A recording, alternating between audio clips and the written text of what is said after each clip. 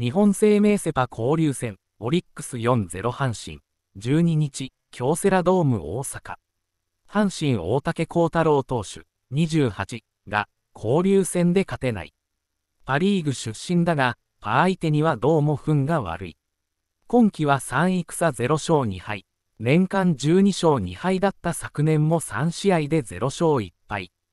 通算防御率は3、08と大崩れしているわけではないが、縦島移籍後は6戦0勝3敗の鬼門状態だ。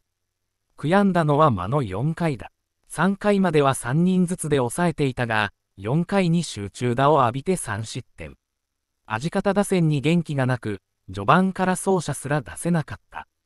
雰囲気的にも絶望感の漂うビッグイニングとなった。4回1死2塁から相手の走塁ミスで2死1塁。絶好調の4番西川に8玉粘られた。最後は死球、対決前から勝負強さが際立つ西川を警戒していた。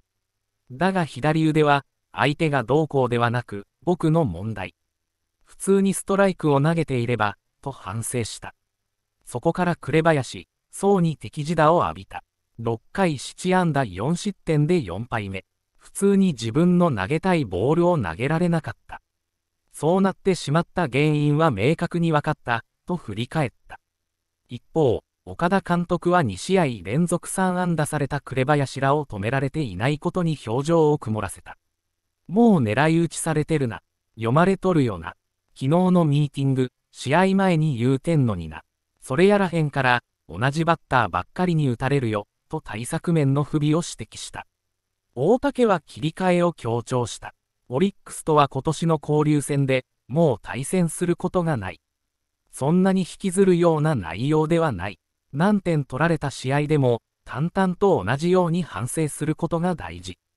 次回登板はセリーグ。しっかり前を向いた。柏原誠、下向き黒三角大竹は昨季の阪神移籍後、交流戦6試合に先発したが0勝3敗と勝ち星がない。阪神で挙げた全16勝はセ・リーグ球団から。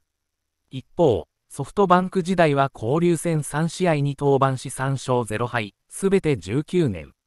セ球団には通算19勝3敗だが、パ球団には7勝12敗と苦戦している。